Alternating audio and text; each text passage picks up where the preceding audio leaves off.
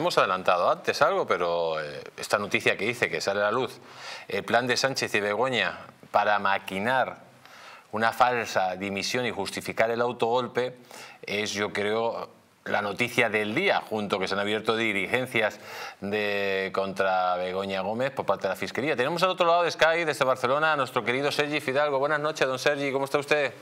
Muy buenas noches, encantado de estar una noche más con vosotros y sobre todo con el gran Alejo. Me alegro por la buena noticia de la detención y tuve el honor de estar con él en San Jordi en Barcelona firmando al lado. Él firmó mucho, yo firmé poco y Alejo un abrazo, me alegro que esté todo, todo esté yendo bien. Muchas gracias, Sergio. pues don, Sergio, em, lógicamente hoy el tema es el señor Sánchez. Se le han abierto, la Fiscalía va, ha, incubado diligencias. Eh, Internacionalmente Pedro Sánchez ha sido arrasado por la prensa.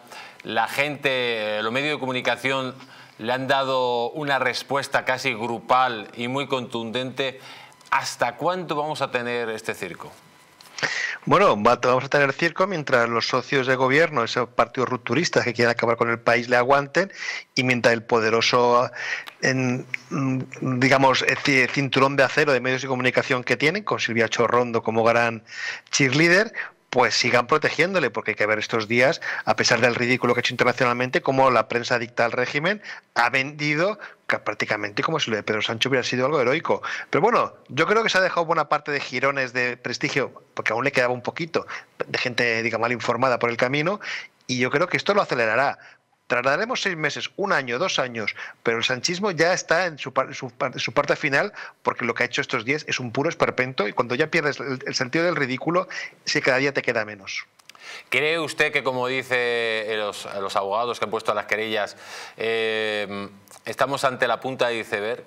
que va a salir cosas tan graves, tan graves, que Sánchez solo tiene una opción para salvarse y es el autogolpe?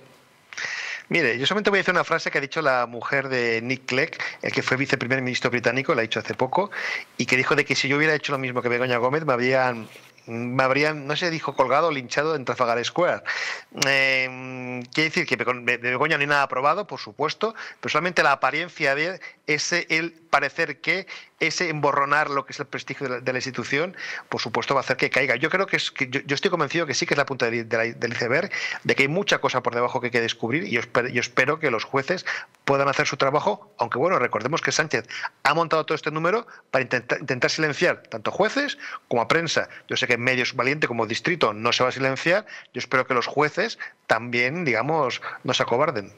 Eh, antes de silenciar, lógicamente, si silencia a jueces y a medios de comunicación, ¿cree usted que puede haber un conflicto civil, que Sánchez provocaría un conflicto civil y eh, aprovechando, digamos, ese conflicto civil, eh, tomaría todos los poderes por medio de algún estado de alarma, de guerra, etcétera?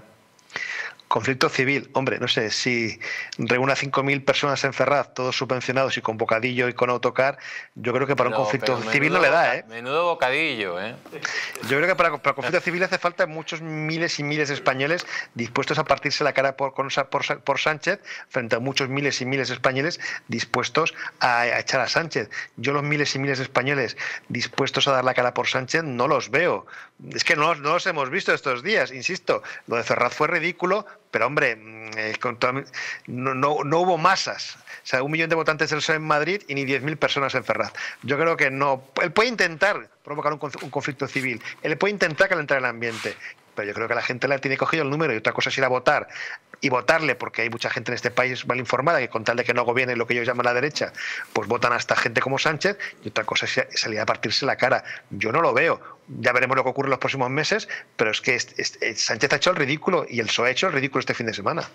Pues don Sergi Fidalgo, como siempre, muchísimas gracias por estar aquí en el mundo al rojo y como siempre, AUPA al español.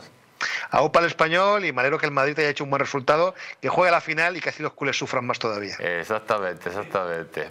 La verdad que alegría, ¿no? Semana feliz, pierde el base y gana en Madrid, como dicen. Ah, señor. Un fuerte abrazo.